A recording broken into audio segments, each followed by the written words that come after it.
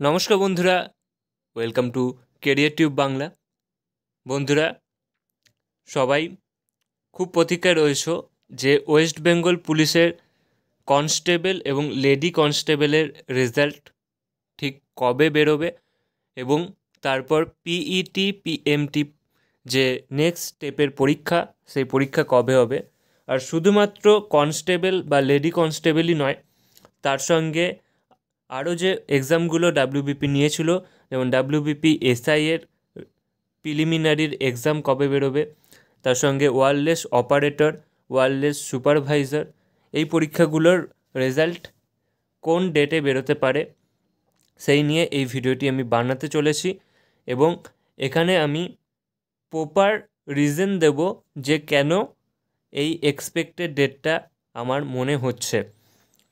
তো তোমরা জানোই যে আমি বেকার টাইম নষ্ট করার জন্য ভিডিও বানাই না।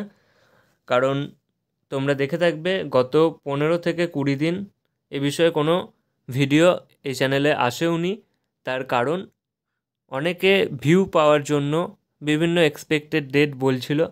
তো সেরকম কোনো ইচ্ছা বা ফুলিশ বানানোর চেষ্টা এই চ্যানেল থেকে আমি করি না।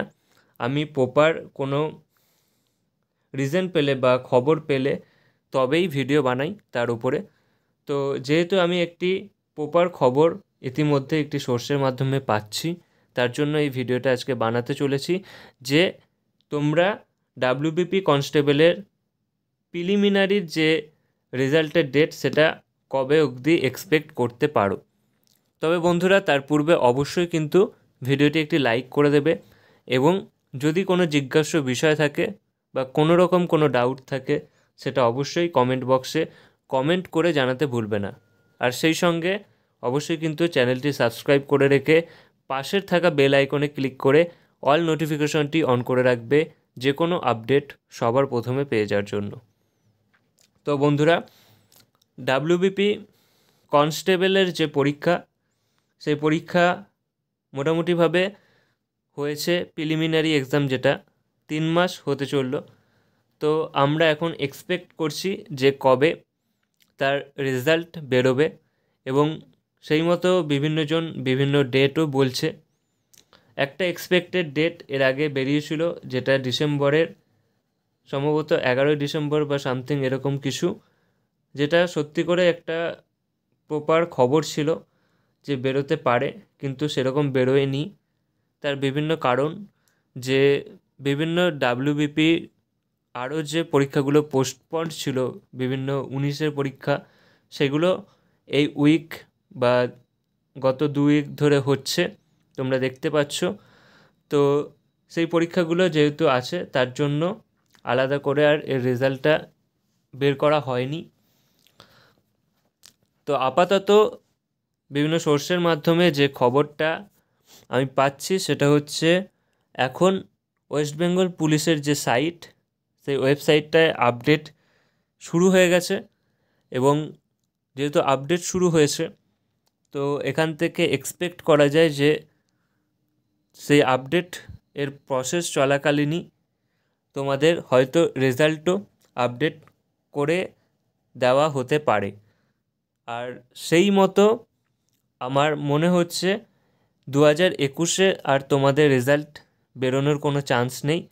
তো দু হাজার বাইশের ফার্স্ট উইক বা মোস্ট প্রবাবলি সেকেন্ড উইকের মধ্যেই কিন্তু তোমরা এই প্রিলিমিনারি এক্সামের রেজাল্ট এক্সপেক্ট করতে পারো এবং এর যথাযথ কারণ আছে।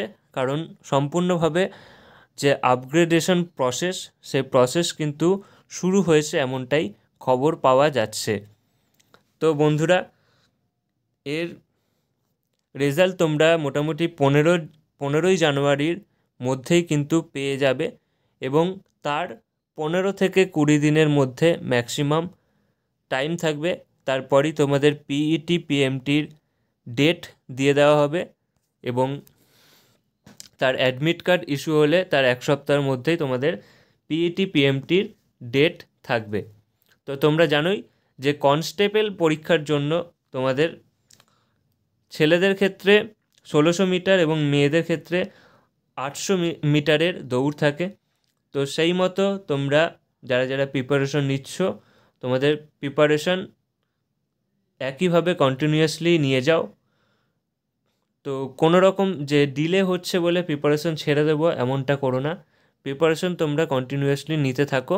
কারণ যত তোমরা প্রিপেয়ার এটাকে একটা তোমরা সুফল হিসাবেও দেখতে পারো।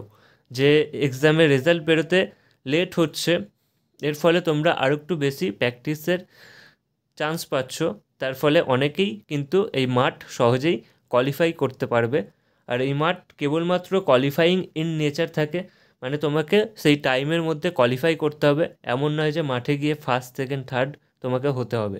জাস্ট তোমাকে সাড়ে ছ মিনিটের মধ্যে ষোলোশো মিটার কমপ্লিট করলে তুমি নেক্সট রাউন্ডের জন্য কিন্তু এলিজেবেল হয়ে যাবে।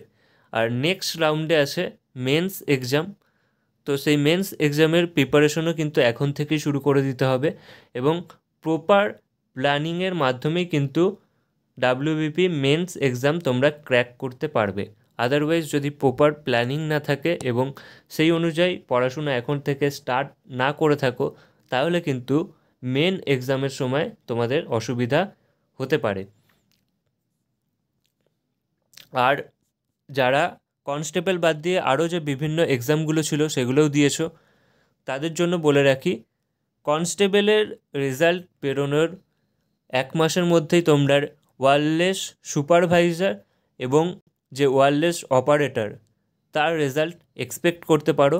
মোটামুটি তার এক মাসের গ্যাপের মধ্যেই তাদের রেজাল্ট বেরিয়ে যাবে এবং সেই অনুযায়ী তাদের পিএটি পিএমটি হবে।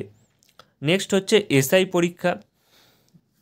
তো এই ওয়ারলেস সুপারভাইজার এবং ওয়ারলেস অপারেটরের রেজাল্ট বেরোনোর এক মাসের মধ্যে ডাব্লিউবিপি এসআই এক্সামের রেজাল্ট তোমরা এক্সপেক্ট করতে পারো ওকে এবং সেই অনুযায়ী তার পিএটি এবং পিএমটি হবে। এছাড়াও কিছু কিছু জন আছে যারা কলকাতা পুলিশের এসআই পদের জন্য অ্যাপ্লাই করেছিল। তার, তাদের মনে এখন একটি প্রশ্ন আসছে যে তাদের এক্সাম কবে হবে? তো যে কেপি, অর্থাৎ কলকাতা পুলিশের এসআই এক্সাম ছিল, তার ডেট এখনও পর্যন্ত সঠিকভাবে কিছু জানা যাচ্ছে না। তো সেই অনুযায়ী এক্সপেক্টও কিছু করা যায় না। তবে ধরা যেতে পারে যে দু হাজার বাইশের ফেব্রুয়ারিতে সেই পরীক্ষাটা হওয়ার সব থেকে বেশি চান্স আছে। তোমরা যারা কলকাতা পুলিশ এর এসআই পদের জন্য অ্যাপ্লাই করেছিলে, তারা এক্সপেক্টেড ধরে রাখো যে ফেব্রুয়ারি মাসের দু হাজার বাইশের ফেব্রুয়ারি মাসে তোমরা তোমাদের পরীক্ষাটা হতে পারে। সেই অনুযায়ী তোমরা নিজেদেরকে প্রিপেয়ার করো। আর তারপরেও যদি এক দু সপ্তাহ ডিলে হয়, তো সেটা তোমাদের পক্ষে আরও ভালোই হবে।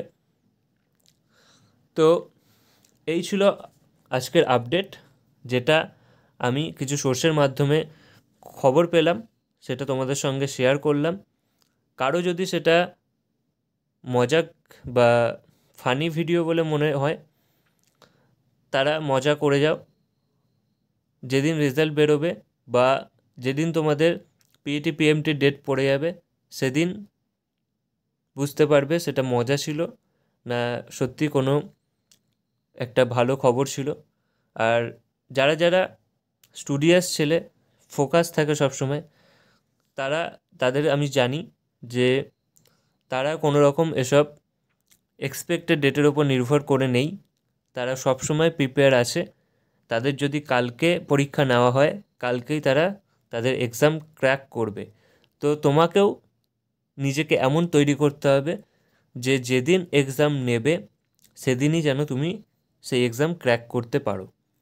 ঠিক আছে? নিজের প্রিপারেশন লেভেলটাকে সেই অনুযায়ী নিয়ে যাও এবং নিজের ডেডিকেশনটাকে সবসময় বাড়িয়ে তোলো।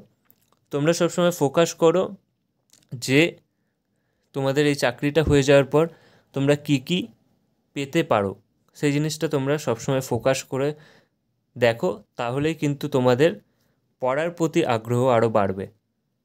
কারণ একটা আমি নিজে মধ্যবিত্ত পরিবারের ছেলে, তো যখন একটা ফেজ থেকে তোমরা অফর ফেজে যাবে লাইফের মানে একটা স্টুডেন্ট লাইফ থেকে একটা জব এর লাইফে যাবে। তখন কিন্তু সম্পূর্ণভাবে চেঞ্জ হয়ে যাবে লাইফটা এবং তখন যদি একটা সরকারি চাকরি তোমার হাতে থাকে, সেটা হচ্ছে একটা, কি বলব, বটগাছের ছায়ার মতন, যেটা তোমাকে সারা জীবন ছেড়ে যাবে না ওকে এবং সিক্সটি এজের পরেও তোমার জীবনের সিকিউরিটি হিসাবে সেই চাকরিটা থাকবে। তো একবার যদি কষ্ট করে সেটা গ্র্যাপ করতে পারো, সেটা কিন্তু তোমাকে সারা জীবন ফল দেবে। তো এটা ভেবে দেখো এবং সেই অনুযায়ী নিজের প্রিপারেশন লেভেলটা বাড়িয়ে চলো। থ্যাংক ইউ সকলকে ভিডিওটা দেখার জন্য এবং all the best for all the exam upcoming in two thousand twenty two and merry Christmas to all